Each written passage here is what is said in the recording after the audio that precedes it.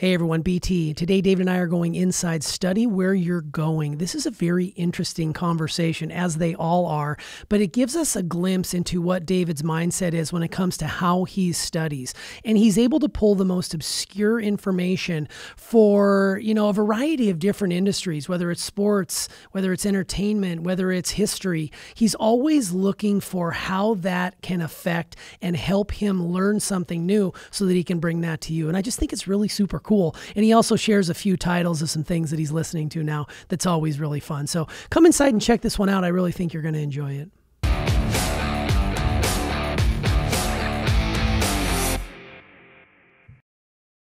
Hey everyone, BT, and welcome to Inside the Episode. Today, David and I are going inside the episode titled Study Where You're Going. Yes, we are. So, this is a study in where we're going and we never know where we're going when we get on this podcast. So I we think never that's know fun. what we're studying. I think it's really good. Well, we always know what we're studying. We just don't know where I'm where, Where I'm going to pull the going. Yeah, questions where's from. this right? gonna lead to? Where is this Oh, going to lead? Well, there. Let's start by talking about the episode and what it centered around, and that was the importance of studying Yep. and how it relates to the successful mind, which is why most of you are here. So, David, you're known for your seven years of study. Anybody who's listened to this podcast knows it very, very intently. That story, it helped you break through in all those early years of your own business. Can you share why studying where you're going is so important to becoming a success? Yeah. So you know, it's an interesting thing because I would have if if you'd have said to me, "Here's a gamble for you," right? Uh, if I can convince you that at some point in your life you are going to love studying, um, listen, I would have smacked you in the mouth. I think. No when, way. I, when I was a kid, I hated it. I mean, I hated reading books. Didn't like it. There were some things I liked to read, but not. But most of all, like I was like a dead student. I my mind was somewhere else. I don't know where I was, but my mind was somewhere else. And today I'm a voracious reader. So, but here's but to answer your question, we have to understand that by the time we're aware of what we're thinking, uh, which starts around seven years old, we have already been programmed with so much information and everything that we're aware of at that point. If you just look at a seven year old, all the things a seven year old's been exposed to, all the meanings that have been given to everything that that kid's been exposed to come from somebody else. So if you if you are going through your life and you're number one you're having problems you're, you're stuck you're not getting the results that you want you have a lot of questions things don't seem to make sense to you there is a prob- probably a pretty good indication that it didn't make sense to your parents either and they had the same kind of problems and your grandparents had the same kind of problems and their parents had the same kind of problems. Human beings give meaning to everything. There's nothing that has any meaning outside of the meanings that human beings give things. So we developed language as human beings. Um, we developed uh, all kinds of awarenesses that we now pass along as education to other individuals.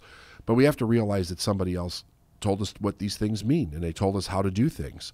So if we don't study, you're just taking it on faith that you were given the correct information about everything. And what we know is is that there's so much information out there that can make a person's life better that did, doesn't necessarily come from our parents. But if you don't study, you're not going to get to that information. You're not going to know about these things if you want to in you know better your life at all it doesn't matter what it is it doesn't even have to be you know consciousness i mean if you want to learn how to build cars you have to study the information is here but you have to study to get to it so if you want to advance your life or make it better you have to study Yeah, and I love the concept of studying for where you're going, not for necessarily where you are, because it's to me it it makes it feel as if you know I want to look at people who maybe have the success that I want, or I want to figure out what they have that I can work towards. And when you're studying from where you're going, it's really basically saying, look, that's where I'm headed and that's where I want to get to. So I think it's really cool that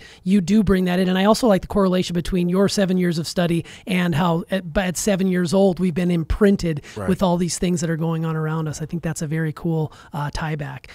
Well, you take every opportunity to study people from all walks of life and across many different industries. Um, you especially enjoy studying hugely successful people from, you know, film, television, music, sports. It runs the gamut. What are some of those that stand out to you the most and some you'd recommend for others to dive into? Like, and I know that's kind of tricky because people have different interests and wants, but is there somebody who along the way sort of ignited your passion for learning more about how they got to be so successful? Wow. That's a lot. Because you are, well, because like you just said, you're a voracious reader, so you study everyone under the sun. Yeah. So so let me just double down on something that you said. I think that a person needs to look in the direction that they want to go first, and then I know you're going to find the people that you're interested in. There are so many people, T. Um, man, Well, I know that you've talked at length on this show about uh, someone like I believe it was uh, Versace was one that you studied. You've gone into, you've gone deep into. oh, like, it was Lagerfeld. Oh, Lagerfeld, I'm sorry. Ver- yeah, so so so so okay. So let me answer. Let me let me uh, answer that reference. There are a couple of people that I have found very very interesting in the way that they've lived their life, and I've done a, a real deep dive uh, into them as an individual. And Karl Lagerfeld was one of them. Keith Richards is one of them. There's there's a there's a few that I have, and what's interesting about these individuals is that they really lived and and they somehow or another they discovered this relatively early but they lived most of their life really steeped in living the way that they wanted to live and really didn't give a shit about what anybody else thought and came up with their own philosophies for life you know their own code so to speak or whatever.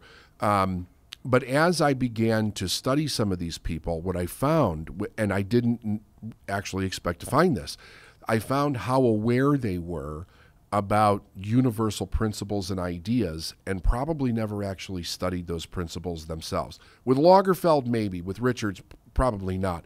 But um, the but the, here's so here's what I was looking for.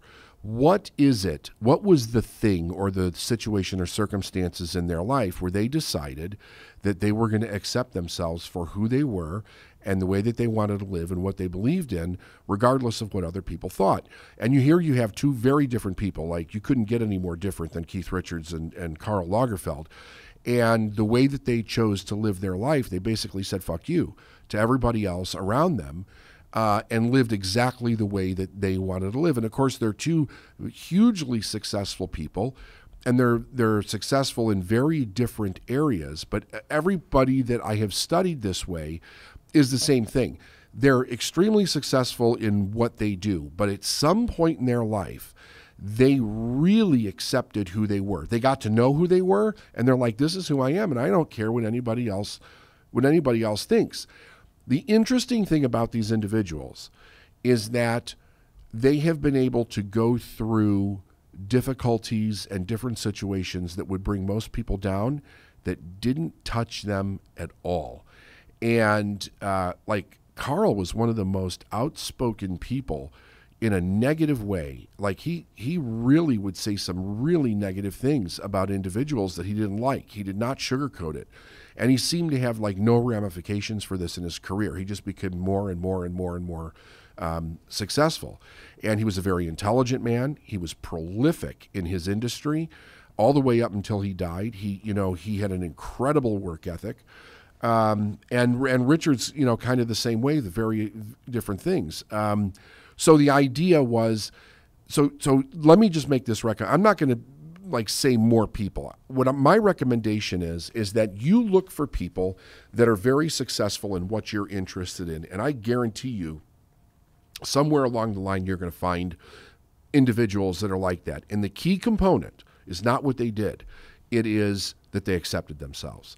So, um, what I know over a long period of time, one of the biggest difficulties for people in life is that they do not accept who they are. They have so much flawed information about mistakes that they've made, how they were brought up, what they did or didn't do, that they have a very difficult time removing shame, guilt, um, negative views of things that you know they've experienced to really say, you know, I'm really great with who I am, and this is how I want to live my life. And I think that that is a big key in a person's happiness and the fulfillment that they feel about what they do in life. Yeah, I think that's great. And what I love about all of that is that you are open to learning from anyone Yeah. who may have a message to you. I think that's and because you have embodied that I am who I am and this is who I'm going to be. And that opens it up to a myriad of different places, like you said music, sport, film, television, historical individuals. When you were talking, it reminded me of when you introduced me to Chef Francis Mallmann, who is another person who just kind of lived his life. And you did a great episode I'll call back to at this point, um, episode 155, The Edge of Uncertainty, where you kind of talked a little bit about his work. And, and I know that you, you studied him, you went and had, you know, dinner with him, you cooked with him, you did all these things. And that is the level of your study. And you want to get to know these people on a level that what makes them tick. And you, you apply yourself and implant yourself inside their lives and you make these interesting choices. And I just love it. I think it's so important because you can learn. See, I, I tend to shut off the supply sometimes. Like if there's someone in, like when you say Karl Lagerfeld, I have no interest at all in learning about him, Yeah. but I guarantee you that if I listened to him, I'd fall in love with a piece of it. Yeah. But there's a part of me, and there may be a part of a person out there listening, that they shut themselves off to that. And I guess we should probably not do that because there's a lesson in there somewhere. Right. There's Yeah. certainly a There- lesson. from well, the part of it would be what is at what level are you shutting yourself off, and what's actually behind that. And it's usually someplace you don't want to go inside of yourself. Like all of a sudden they trigger something, and, and you're like, "I'm done. I don't. I don't want to hear anymore." You know, I'm, I'm done. And you judge it. You make them wrong or whatever, and then you're you're out of there. And I think that. Well, I know I experienced that very early on, and I kept pushing past it. Um, because I was like, why is it that all of a sudden I hit this place and I'll judge this person? And I'm talking a long time ago. This is in the 90s. But then I started pushing past it and I said, okay, wait, stop judging what they believe. Ask yourself, why do they believe what they believe? How did they get to that belief? Instead of going, this person's just an idiot for believing that and not really understanding what's behind it. And I think that's where I started to get probably the most value from studying other individuals was that instead of judging what even if I don't agree with it, right? Why do they believe what they believe? Like what has led up to this for them to form this belief in their life? Yeah, and, and and it's so funny. I'm kind of smiling over here because I was thinking about when I was first introduced to Relentless by Tim Grover. As you know, I hated that book. You did. This this guy was coming on. He was telling me I wasn't good enough. I wasn't fast enough. I wasn't big enough. He was basically he wasn't even calling me a piece of shit, but I was interpreting it as such. And it's turned out to be one of my favorite books of all time because I got through that initial, you know, moment of trigger and Yeah. realized that there's something that can be learned in here. Put aside your judgment and bullshit and just listen to the message. And after that, I'm like, God, I fucking love this guy. It's Yeah. just so funny. But I, I even a bit, it, if I would have gone with my initial instinct, I never would have picked it up. Yeah, there's something there for everybody. You don't have to be a Michael Jordan or a Kobe Bryant. Exactly. Um, and and there's something that you can take away from it that will make your life better. Yeah, totally. And his new book, Winning, is every bit as good. So pick that up as Yeah, well. yeah. All right. So in the episode, you talked about how we usually only see the end result of a person we may be emulating, but rarely we see their journey. Like we get their highlight reel, right? You know, the whole idea of uh, there are no such things as an overnight success. These people are busting their asses to get to where they're at. You don't see the blood, sweat, and tears on the court or behind the scenes at the, you know, trying to get auditions to break in. Um, can you talk more about the illusion we see in others and how it actually can be detrimental to a person's growth? You mean from a success From a standpoint? success standpoint, yeah. Yeah. So the interesting thing about that is that we're raised um, in a society that you know we really, we really are. We celebrate celebrity and success, and I think that we're um, we're we are in a delusion around it because we only see it once it is a celebrity or a success. So these people seem magical to us in some way.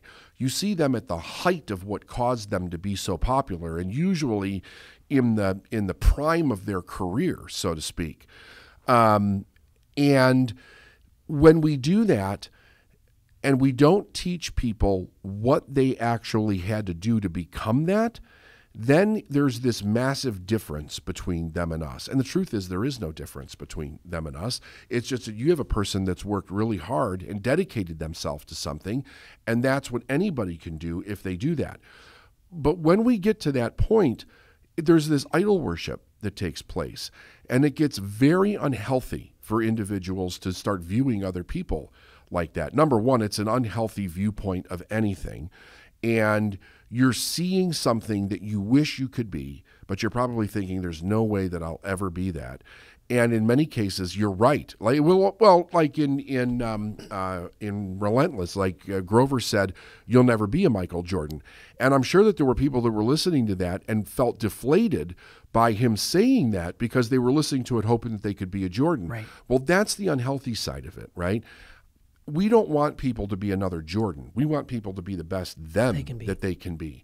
And if they get focused on the idol worship of the individual, of what they're doing or whatever, and then there, the other side of it is the partying lifestyle or the celebrity lifestyle that goes with so much of that.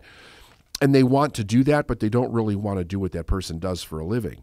It was like Jordan said in uh, um, um uh, The Last Dance.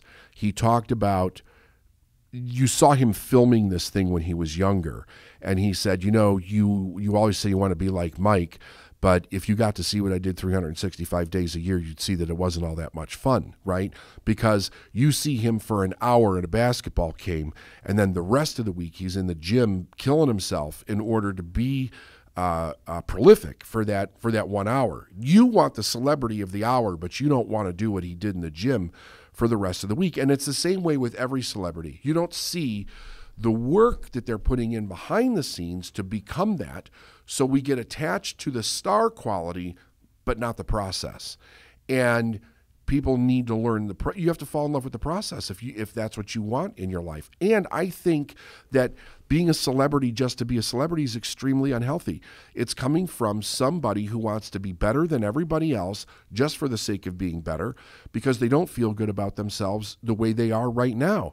And we need to work as a society on helping people feel good about who they are so that they can become the best that they can be yeah, and what I love about that is is that it translates to anybody who's listening to this podcast. We're not we're not saying you need to be in sport or in entertainment. This is being the best you you can be, showing up for whatever job you're in, right. or whatever business you're running. Like you can be the Jordan of your business, but you've got to put in the work. And I think that's where a lot of people get stuck. Is they want the they want the highlight reel, they want the Instagram life, they want the bling, but they don't want to put in the time. You know, they don't see Kobe Bryant finish finishing up a game where he scores 30 points and 15 boards, but then he didn't feel he did enough, but he went out after the game and shot for three hours in the gym. You know, right. the you don't see that, and I think everybody could probably go back in their story somewhere along the line where they said, "I'm just not willing to sacrifice that much," and through that sacrifice, that could have been the difference for them being elite, being those cleaners, right. like uh, you know Grover talks about. The other thing that that is really starting to develop with it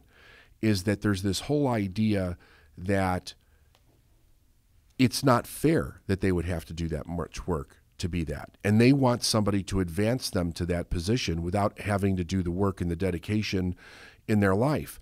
And where they got this idea that it's not fair is insane. Like it is it is this this cancerous growing of entitlement in our society that causes people to think like that. We're not entitled to anything. In this life, if you want something, you have to work toward it to become it. Nobody's going to promote you to that thing and then you get to be the celebrity. That's not how it works. Yeah, and that, that the sooner we can get beyond that, the better, because that you're right. That is a cancerous, you know, just it's just eating us inside out. Yeah, and again, back to the topic. If you don't study, you're never going to know any of this, right? Right. Because you're hearing just false bullshit information from the streets. Yeah, absolutely. Well, you also talked about uh, core wounds, and I love it when you talk about core wound on the on the show because I think a lot of people resonate fully with this because everybody's got some sort of a core wound that they're that they're dealing with, um, and the unconscious patterns that's repeating over and over again. And if you don't do something about it, it just gets progressively worse. And for example, worthiness is a core wound so many people have running in the background. And we repeat that pattern because we're not aware for one, and it's far too uncomfortable to deal with for the second. You know, we just don't want to deal with the fact that we don't feel worthy. So, how do we know if we're blindly following a core wound if it's not even in our awareness? because you'll keep repeating the same problems over and over again. So we always have problems. All of our life, we're going to have problems. We're going to have challenges. We're going to have to thing, have things that we overcome. But when we have the same problem over and over and over, and it's not changing, something is driving that problem. And when you break it down to why would a person continue to experience the same problem without changing it, it goes against the cycle of nature itself. The idea is that nature is constantly correcting itself to, to move forward. Human beings are supposed to be learning from their mistakes, getting better, and then moving forward. So when we don't do that, there's something else driving it. And when you look at it, it, it is it's a core wound pattern in a person that keeps driving that mistake. Now, why would it drive the mistake? Because at some point in your life, you learned how to live through whatever scenario caused this core wound and develop a pattern to stay safe.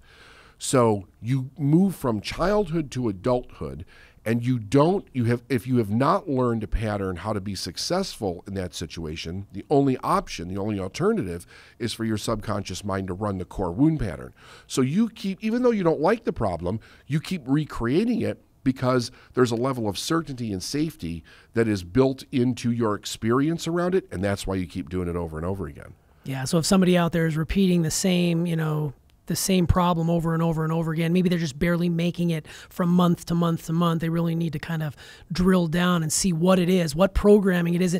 I've heard this been said before, and this may have been true for me early on, is you know, I don't want to make more than my parents did because my parents worked so hard for that. And then they, they just barely make enough, even though their parents were near poverty level. Like my mom barely made a wage. And I was, you know, you're afraid to maybe supersede them or you don't want to make more than your friends or you know you kind of bring yourself down to that level and that is so not in abundance that is not good thinking to get right, into right all right well let's transition a little bit to rejection this is always a fun topic because rejection is very painful uh, how does one start to overcome rejection and i'm thinking if you could provide some like tried and true strategies where a person can become more comfortable with being rejected, especially when it comes to like selling your product or on sales calls. Yeah.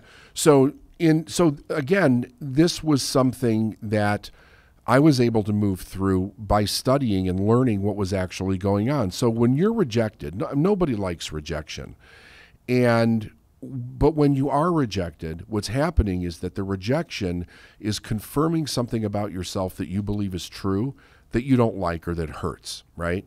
So, of course, when we're if we're going to do something in our life that constantly puts us in um, the possibility of being rejected over and over again, just like when a person starts in sales, I mean, you're going to be rejected right. over and over again. That is not going to be a pleasant experience. So one of the one of the first things is to understand that when you're rejected, it has nothing to do with you. And I know that's very difficult to understand because when you're rejected, it feels like it has everything to do with you. You're in a pain that is in how you see yourself. The person is just doing something that's causing you to see that pain more. When a person rejects you, they're rejecting whatever's not working for them. That's all that it is. It has nothing to do with you personally. So the idea is that if we want to learn more about it, we have to kind of start to study number one, what is it inside of an individual that causes them to feel pain around rejection?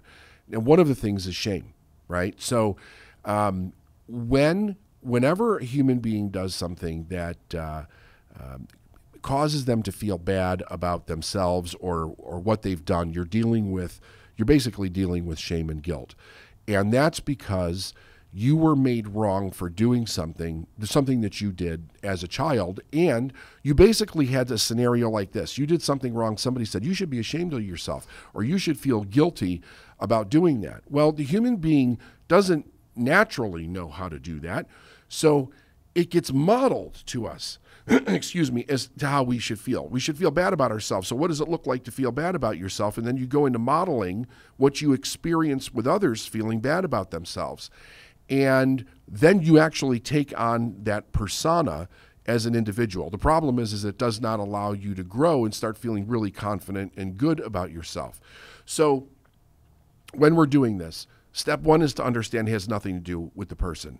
Step 2 is to understand that it's showing you where you need to grow inside of yourself. So then the idea is that you know, either you start studying or you get with somebody that can help you learn about yourself so you can really understand what is it that's going on inside of me that makes me feel bad when somebody does something because the the false belief is this somebody else is making me feel this way The truth is, I'm feeling this way because there's something in myself that I don't like.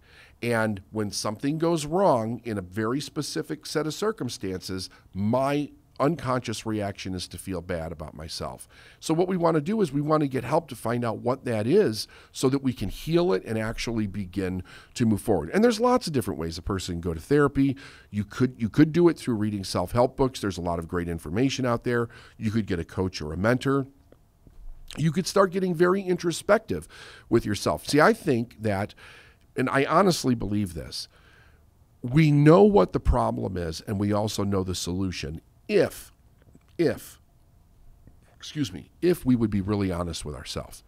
And the problem is, is that most people won't because it's easier to blame other people. It's easier to say, you made me feel that way, damn it. You have to change so that I can feel better and that just isn't going to happen. No, no, absolutely not. And and that is that is a next level awareness that's available to every single human on this planet. It is. Every single person has that ability within them to realize nobody's doing anything to you. I mean within reason. You know, when they when you you just said you made me feel bad. No, nobody makes you feel bad. You are feeling bad about something that that person said and remembering it's not about you. That's one of the biggest lessons that I continue to work on daily Yeah. in my life when something comes up that I feel like something someone did something to me Right. it was me being triggered by something inside myself that's too uncomfortable to look at Right, because because consciously we have a choice as to how we feel. Correct. When we unconsciously feel bad about something, it's because there's a program in us that says feel bad when this happens. That can be changed. That literally can be changed. Yeah, 100%. Well, over the course of the last 16 months, with so many of us stuck at home, there was a tremendous opportunity to use the time either in a productive way or a non productive way. I mean, overnight we found ourselves at home, away from the workplace, with all sorts of distraction at our disposal. Knowing you, it was being productive to study and learn. Like you took that time to study and learn, especially since businesses and your business included had to pivot in order to you know stay ahead of the pandemic Yeah. walk us through what that was like for you and maybe what you learned now looking back at it as we start to go out into the world as normal So the first thing was understanding what was happening on um, the level of pattern behavior around the world. So I wasn't. I mean, I was concerned about you know the virus and and all of that, but I was really looking at okay, what is based on how everybody's responding to this uh, from a government perspective. What is this shutting down for individuals? And what became very apparent was that the way that we view safety and security in our world is through the way that we give and receive the things that we need money, products, services, that type of thing. What concerned me the most was that was changing very rapidly, and we had never experienced anything like that. Now, what I know is that when the subconscious mind does not have a pattern for a new experience, it is going to go in to recreate something from the past. And if it can't recreate something from the past, it is going to freeze. And a lot of people just froze. They didn't know what to do. Now, when they freeze, that leaves them open to all different kinds of things. So that's why we saw so much, so many negative things actually begin to happen. So my first response was, how can I help other individuals process through this, where they understand that they do have options, and how do we help move their minds so that they have options? So I was telling people one of the first things is to be to be grateful, to to really practice gratitude in this, to understand what has changed and what has not changed. How has that change affect affected your business? Because we work so much with business people. How can you take your business and actually help people during this during this change? And then for me, the study process has been it's still the same.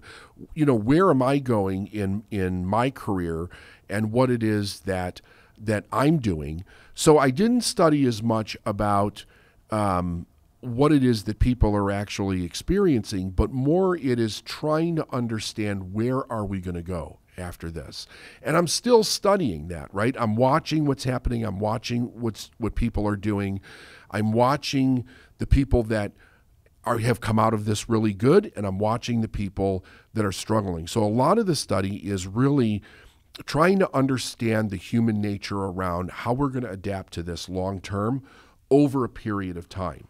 Because this is one of those things that we're going to see the short term impact, but there's also going to be a long term impact that I don't think anybody understands the seriousness of yet. And I think that's what's going to be really interesting and where we have to keep our eyes open. Yeah, and what's interesting about the whole thing was that the foundation was laid very early on for this, even though you didn't know it would be this specific Right. thing, a global pandemic. But it, the foundation for your study and the foundation for you to be able to navigate through it was already laid early on because you've gone through similar things, maybe not to this extent, Well, different crises, different yeah. crises, right? So you had you had kept your study routine all throughout, where other people were looking at it as, well, this is an extended vacation. I'm just gonna blow through Tiger King right on Right. Netflix or whatever, and I I did my fair share of that too. but you also had a chance to kind of see where people are going, and you're still doing that to this day. And to your credit, you worked. I mean, you were a hard-working content creator before that, and then I just saw you double, triple, quadruple down Right. on it, and it continues to go forward from here. So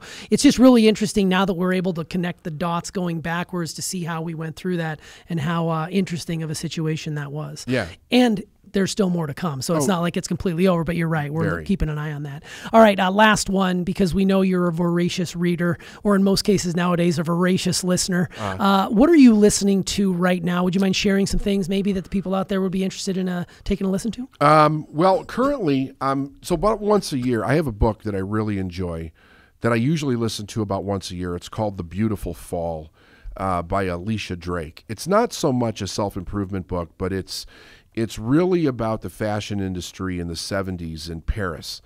And um, uh, it's a favorite book of mine. I, I just love the, the, the people that are in it. I mean, uh, they're all people that we've heard of before. So I, I, it's, uh, it's just, it's a, it's a fun listen, right? So, but let me tell you, And you said that was called The. Beautiful Fall. yeah, The Beautiful Fall. Gotta be sure by to link to Alicia that one. So I just read The Revolt of the Public. And let me give if I can find the author. Ah, that is by Martin. ah. man, I don't know. Can Did you re- say Revolt of the Public? Yeah, can you read that? Revolt of the Public by Martin Gurri. Yeah. Okay. Got yeah, it. so I just finished that one and uh let's see what is the other one that I finished just recently. I mean, you find the most obscure titles sometimes, but they're always so good. Yeah, The Evolution of Desire by David Buss. And where do you find these? Do they just come up or you search like Um, where do I find them? You know, very often one thing kind of leads to another. like So- similar like people who read this like this as Yes. well? Yeah. Yeah, so I would. So the Revolt of the Public. I was listening to a podcast, and somebody had mentioned uh, that it was a really good book to read. Uh, that gave some enlightenment into what's happened with uh, the media industry. Sure. You know, over a period of time, and I don't remember how I came across the evolution of desire. I, I I don't remember where I heard that, but I did hear it somewhere, and that's how I. That's how I picked that up. So that that's the last two books I read, and I read both of those in a week. I love it. Yeah. And in, in some of, like you said, The Beautiful Fall, you've listened to that repeatedly. Like you learn, you probably enjoy it, but you also learn something new each and every time. well, as like well. well, like I said, it, it is it is the early uh, is part of the early story of Karl, Karl Lagerfeld. Yeah, and so it's a very interesting perspective on some of the things that made him the person that he became. Yeah. But it- it's a cool story. Like it's it's it's a really interesting story about um, not just fashion, but how society was changing during that period of time. And there was a big change taking place that affected a lot of the world, but it was kind of isolated in Paris for a while. Sure. So it's just a cool story. Love it. Yeah, we'll link to each one of those titles you just mentioned below. Appreciate you sharing that because I know that the people who listen to this podcast, they love your recommendations. I'm sure they're going to dive into these titles and find something that's going to take them from where they are to where they want to go. So, Absolutely, man. Perfect. Well, thanks for coming inside. You bet. Hey, that's a wrap. Study where you're going. We hope you got a lot out of it. Do yourself a favor, smash that like button if you're not a subscriber already, and also share this with someone who would benefit from listening. We know that we've got a huge following out there. You're a great great audience. We love bringing you this content and we can't wait to bring you more. Also, leave us a comment down below and let us know what you're studying, maybe what you're studying for or what you're studying right now, whether it's a book, a documentary, or something else. David would love to hear it. So until the next time, we can't wait to see you on the next Successful Mind podcast.